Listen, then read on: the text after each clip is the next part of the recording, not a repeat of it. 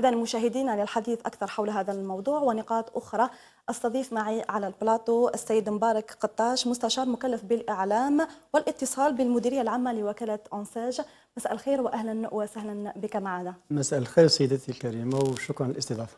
العفو كما ستشاركني نقاش اليوم زميلتي في التقديم وسام طيباوي. شكرا لك أهلا بك أستاذ. أهلا. إذا بداية أستاذ الوكالة الوطنية لدعم تشغيل الشباب أنساج بطلب من الحكومة ترفع التجميد رسميا واستثنائيا على بعض أنشطة النقل في ولايات الجنوب ما هي أسباب وخلفيات هذا القرار؟ نلاحظ أنه هنا في الجنوب كاين هناك في بعض المناطق أنه كاين هناك نقص في خلق نشاطات ولذلك القرار هذا لإعادة فتح الأنشطة المجمدة هو آه، من أجل خلق نشاطات في مناطق التي تحتاج إلى نشاطات من أجل هذه تكون نشاطات اللي راح تخدم سكان المنطقة اللي راح توفر لهم مثلا ثروة وكذلك اللي راح تخلي تخلق المناصب مناصب مناصب الشغل. لذلك الدراسات اللي دائما كنا نقوم بها في إنشاء المؤسسات المصغرة لو كنت تشوفي مثلا كاين المرافقة القبلية والأثناء والبعدية الهدف من المرافقة البعدية وهي دراسة حالة المؤسسات ودراسة من كل الجوانب باش نعرف احتياجات وكنا آه، احتياجات المنطقة وكنا راسلنا من قبل كل المناطق من أجل إعداد البطاقه بطاقة النشاطات بطاقية للنشاطات وذلك من أجل معرفة احتياجات كل منطقة. اليوم هذه النشاطات اللي راهي آه، آه، عاودت رجعت على المناطق الجنوبية هذه النشاطات راح تخلي شباب المنطقة الاستفادة وخلق نشاطات اللي راح تساعدهم من أجل توفير ثروة للمناطق تاعهم وكذلك خلق مناصب الشغل. نعم إذا آه، هذا القرار لماذا مس ولايات الجنوب فقط دون سواها من الولايات الأخرى؟ هو مناطق الجنوب نشوفوا على طب على الاحتياجات. نعطيك مثلا على سبيل المثال مثلا النقل النقل نقل نقل المسافرين ونقل العمومي نشوفوا مناطق مثلا مناطق في الجنوب اللي تبعد منطقة من منطقة إلى 100 120 كيلومتر. هناك نقص نقص مثلا في النقل. على سبيل المثال يعني مثلا نقص مثلا في نشاط معين ما اللي لازم تحتاجه المنطقة دي. هذاك السبب اللي خلى النشاطات في الجنوب. اذا ما هي مشاريع النقل المعنية بهذا القرار؟ لا القرار هو يشمل كل النشاطات لكن يرجع التمويل حسب احتياجات المنطقة حسب احتياجات الشباب للنشاط لأنه في إنشاء المؤسسة المصغرة إذا كان مثلا آه، تخلق نشاط ولكن النشاط موجود في المكان ما ويكون منه كثير وتعاوز تخلق نشاط أنك هنا حققت استمرارية المؤسسة. لأن نشوف هناك مناطق على حسب احتياجات المنطقة يعني. جيد. النشاط آه، النشاطات. كلها يعني مفتوحة لكن ترجع سيره المنطقة. إذا في وقت ليس بالبعيد كانت يعني كان قطاع النقل هو النقطة السوداء لدى وكالة أنساج ما الذي تغير اليوم؟ ليس كل النقل. جيد. وليس دائما كاين كاين مشكل وكاين حل. كاين نعطي على سبيل المثال أن نشوفوا مثلا كاين شباب كثير اللي استفادوا من النقل وسدوا جميع الديون تاعهم. وكاين شباب اللي راه عندهم تأخر في الدين. هذه ترجع من نشاط إلى نشاط آخر من منطقة إلى منطقة أخرى. نعم لكن لماذا شكل ربما قطاع النقل مشكل لدى وكالة أنساج سابقا؟ لا هي يعني شوف النقل كاين مناطق وين مثلا كان فيها النقل كثير اللي خلى بالك أصحاب المنطقة هذيك إنهم شغل يعانوا بعض الصعوبات. لذلك إحنا الدراسة التقنية للمشاريع والبطاقة التقنية للمشاريع في كل منطقة مع بالتعاون مع السلطات المحلية باش نعرف نقدر نعرف مثلا احتياجات المنطقة باش ما نعاودش نمول مشاريع في ذيك المنطقة يعني. طيب هناك من يقول أو هناك من يرى أن هذه القرارات جاءت من أجل شراء السلم الاجتماعي، ما رأيكم؟ إحنا في إنشاء المؤسسة المصغرة. الوكالة هدفها إنشاء مؤسسات مصغرة للشباب حامل الافكار اللي تراوح أعمارهم ما بين 19 إلى 40 سنة.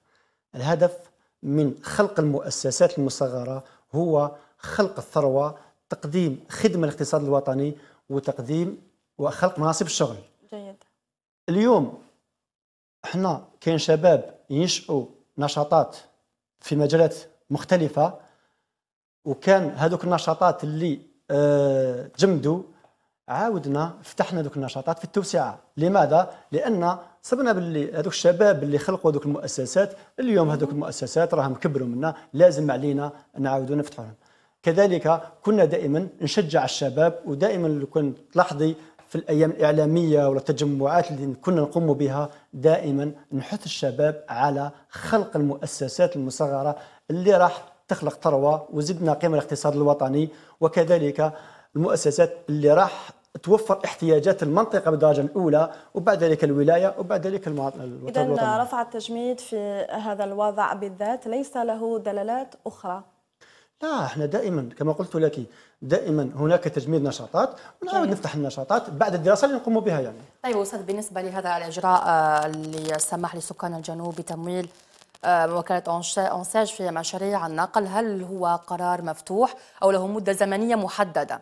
يعني حتى يمكن سكان الجنوب آه، للاقتناء مع وكالة انساج هل له وقت محدد أو هو قرار مفتوح؟ لا هو قرار مفتوح. يعني أي شباب اللي حامل حامل الأفكار حابين ينشئوا مؤسسة مصغره أنهم يقدموا إلى المنطقة الوكالة وينشئوا المؤسسات إلا بعد مثلا كان مثلا في المنطقة هذيك شفنا باللي تشبع الآخر. نعاودوا نعاودوا ندرسوا الاحتياجات المنطقة هذيك ونعاودوا نشوفوا طيب حتى بالنسبة لقرار آه، الإفراج عن مشاريع أنساج الذي يقابله كذلك آه، مشكلة الحصول على إلزامية آه، رخصة النقل. هل هناك تنسيق مثلا مع وزارة النقل في هذا المشكل؟ لا دوك نشوف أول شيء التوجه الشباب واش من نشاطات كاين نشاط كاين نقل نقل على التبريد نقل المسافرين ونقل السلع والخدمات السلع.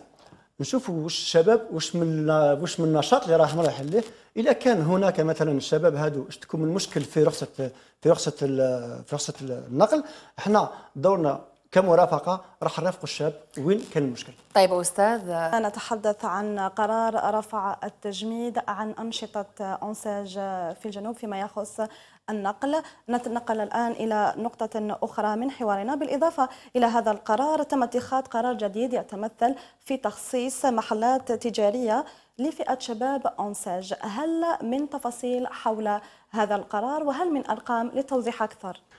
أه، بطبيعة الحال الإجراء الجديد فيما يخص المحلات أه، عدل روبيجيي لخصوص هذه هذه الصيغة من المحلات للشباب أصحاب المشاريع اونساج اونجام كناك.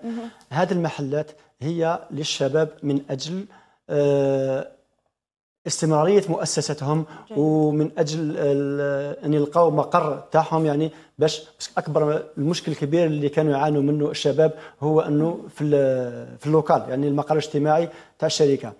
هذه الصيغة الجديدة أنه المحلات عدل آه، و l'OPGI اللي خصها الدولة لفائده آه، الشباب أصحاب المشاريع اونساج اونجام كناك. هي اليوم هي سارية المفعول على مستوى 48 ولاية. جيد. هو أنه الشباب اللي أنشأ مؤسسة في إطار هذه الاجهزه عنده الحق الاستفادة من من من محل تجاري. طيب من هو صلاحية يعني الاستفادة من هذه المحلات التجارية وما هي الشروط؟ اولا اولا أن يكون الشيء الأول هو أن يكون آه، ملف المشروع في إطار الأجهزة أجهزة جيد. الشيء الثاني انه يكون الإنسان ما استفادش من من أي محل أخرى, أخرى في اللي قدمتها الدولة آه كيف يكون؟ هي هناك لجنة على مستوى الولاية كل ولاية فيها لجنة يترأسها السيد الوالي. آه تودع الملفات على مستوى مثلا كالانساج تودع الملفات على مستوى فرع انساج في الولاية. وبعد ذلك اللجنة تقوم بدراسة الملفات وتقدم المحلات لأصحابها. المحلات هناك محلات صغيرة المساحة هناك محلات كبيرة المساحة هناك يقدر الإنسان أن يستفاد من محلين. ترجع حسب النشاط اللي راح يكون عند عند الشاب المستثمر. هذه الصيغة أنه هما آه، إما يكونوا بالإيجار أو البيع بالإيجار ويكون بمبلغ بمبلغ آه، يعني السعر تاعو يكون منخفض على السعر اللي يكون يكري عند عند الخواص. نعم. والأهم وأكثر وهي أن المدة غير منتهية. نشوفوا المشكل اللي كانوا يعانوا منه الشباب هو أنه يكري المحل بسعر عالي ولكن المده قليلة. اللي تخلي مثلا الخاص يخليه الخاص أنه يكري له مثلا سنتين من بعد سنتين يقول له يسوى زيد لي في الكراء يسوى نبدل أنه هذا راح يخليه راح يخلي الاستمراريه تاعو راح من الجانب من جانب المقر الاجتماعي انه وين راح يكون يحط العتاد تاعو راح يكون مستقر من الجهة هذه. وهذا هو الشيء المهم يعني في في المؤسسة. طيب أستاذ فقط إذا هل سيتم تعميم هذا المشروع بالنسبة لبقية الولايات أم فقط منحصر على ولاية الجنوب؟ لا هذا هذا المشروع تاع المحلات اوبيجياديال هو على المستوى الوطني ليس في الجنوب فقط. طيب ربما من هي المشاريع المعنية والمستثمرين الذين يستطيعون آه، اقتناء هذه المحلات؟ المشروع لازم يكون ساري لازم يكون موجود لازم يكون عنده مردودية؟ إما هي إما المشروع يكون مجسد في أرض الواقع إما الشاب هذا من أودع الملف وحصل على الموافقة تاع لونسيج عنده الحق في الملف. آه جيد. إذا ماذا عن إجراء الشباك الموحد؟ هل تم تجسيده على أرض الواقع؟ أم ربما القرار ينتظر يعني تجسيده؟ لا الشباك الموحد هو الآن موجود في الولايات الجنوب. هدف من الشباك الموحد هو خلق شباك اللي راح يقرب المواطن من الإدارة اللي راح يكون في هذا الشباك الشخص اللي يكون في الشباك اللي راح يقدم كل المعلومات للمواطن يجي باش يتجنب يتجنب التنقل من مكان إلى مكان. وكما تعرفوا أنه خاصة في المناطق الصحراوية أنك باش من من بلدية لبلدية 300 400 نعم. كيلومتر يعني هذا الشباك راح يسهل كثير وقمنا بدورة آه، بدورة تكوينية الأولى هي لهذا المسؤولين على الشباك الموحد آه، باش يعرفوا طبيعة عمل كل الأجهزة تحت أجهزة أجهزة أجهزة تحت أجهزة الوزارة وذلك من أجل آه، كسب أكثر معلومات اللي يقدروا هذه المعلومات اللي يقدروا يمدوها للشباب المواطنين كي يتقدموا باش يستفسروا يستفسروا على انشغالاتهم. جيد. إذا مع الأزمة السياسية التي تعيشها البلاد هل أثر ذلك على عمل أونساج آه، واكناك؟ خاصة أن كل البنوك آه، وسام جمدت عملية منح القروض. لا اليوم الوكالة الوطنية لشؤون الشباب ما زالت ما زالت تمول المشاريع وما زال الشباب يجيبوا بأفكار جديدة وراهم يدعوا الملفات تاعهم. يقومون أولا بالتسجيل عبر البوابة الإلكترونية مباشرة بعد ذلك يدعو الملفات تاعهم اللي ملف قصير جدا صغير جدا والحصول على المشروع في مدة زمنية قصيرة جدا ويتم التمويل من طرف البنك كل شيء كما على يرام جيد. إذا ما هو ربما آه، لكي نختم النقاش ما هو جديد الوكالة الوطنية لتدعيم تشغيل الشباب؟ الجديد وهو أنه كل شاب حامل فكرة أو مشروع وهذا المشروع اللي راح يقدم قيمة إضافية ويخلق الثروة الاقتصاد الوطني الوكالة أبوابها مفتوح عبر 48 ولاية مع الشاب إلا التقدم إلى الوكالة. وإذا كان الشاب ما يقدرش يتقدم مثلا يتقدم إلى يكون مثلا بعيد عليه الملحقة أو الفرع عندنا هناك موقع إلكتروني هناك وسائل التواصل الاجتماعي يعني يقدر يستعملهم هادو باش يعرف كل ما هو جديد في الوكالة وما هو كل ما هو محتوى آه، من أجل إنشاء مؤسسة مصغرة فالأبواب دائما مفتوحة. جيد اذا قبل أن نختم ربما وسام سأستغل حضورك اليوم معنا ما هي المشاريع التي ربما تنجح أو ينجح فيها الشباب المقبلين على الاستثمار آه، في الجزائر؟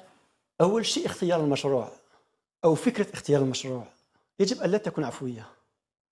اولا الحب والإيمان جيد. بالمشروع الذي يود الإنسان انشاؤه.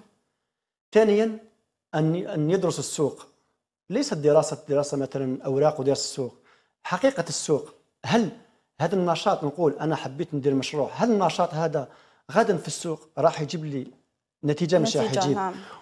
وشيء آخر أنه كي ندير الدراسة تاعي ما نديرش الدراسة أنني نسبة النجاح 100% لازم ندير نسبة نجاح نسبة جيد. خسارة ونسبة الخسارة ليست فشل جيد أني اليوم ننشئ مؤسسة مصغرة ولا ننتظر أني بعد سنة أو سنتين أو ثلاثة خلاص نقول ما نجحتش وخلاص ربما بعد السنة الثالثة الرابعة هذيك بداية النشاط ليس جيد. بعد الشهر نعم. الأول جيد. حتى مثلا نروح إلى أبعد شيء حتى وخلقت المؤسسة تاعي وما تمشتش يعني السوق الدراسة اللي درتها ما ما نجحت ليش و... سيد كل الطرق نعم. بعد مرا... بغض مرافقة تاع الوكالة هذا المثابرة. جربت كل شيء كل شيء ولم ننجح ليس فشل. مه. هناك حلول آه هناك إجراءات. لا الإنسان اللي حاب يخلق المؤسسة أنه دائما لا يخاف من إنشاء مؤسسة صغيرة. هو ديجا أنه ما دام تقدم وانشأ هو ناجح. جيد. إذا مبارك قطاش مستشار مكلف بالإعلام والاتصال بالمديرية العامة لوكالة أنساج شكرا لكل هذه التفاصيل. شكرا لحضورك معنا اليوم. شكرا لك وسام لمقاسمة النقاش.